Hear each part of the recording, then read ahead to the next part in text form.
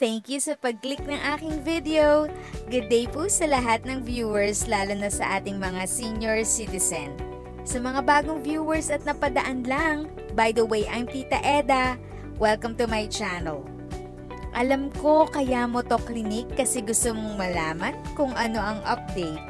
Please watch the video until the end para malaman ang kasagutan at dagdag kaalaman.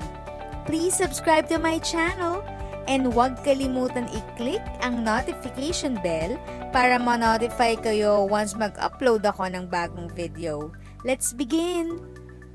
Epektibo simula sa January 9, mas marami pang lungsod at probinsya ang mapapasailalim sa Alert Level 3 alinsunod sa kautusan ng IATF. Kabilang na riyan ang Baguio City, Dagupan City, Santiago City, Cagayan, Angeles City, Bataan at Olongapo City. Gayon din ang Pampanga, Zambales, Batangas, Lucena City, Naga City, Iloilo City at Lapu-Lapu City. Ayon kay Pangulong Rodrigo Duterte, may mga bago na rin siyang direktiba para ibayo pang matugunan ang kasalukuyang COVID-19 situation sa Pilipinas. Ang una ay patungkol sa mga unvaccinated individuals. I'm now giving orders to the barangay captain to look for those persons who are not vaccinated and just would request them or order them, uh, if you may, to stay put.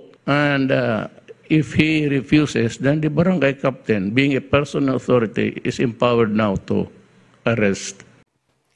So ayan mga guys, if you find this video very helpful at nagustuhan mo itong video, please like, share, comment, and subscribe to my channel and click the notification bell para updated kayo sa lahat ng videos na aking i-upload.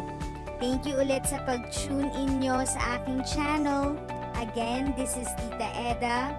If you have a questions and you want information, just visit Tita Eda's channel. Continue to be a blessing and stay safe.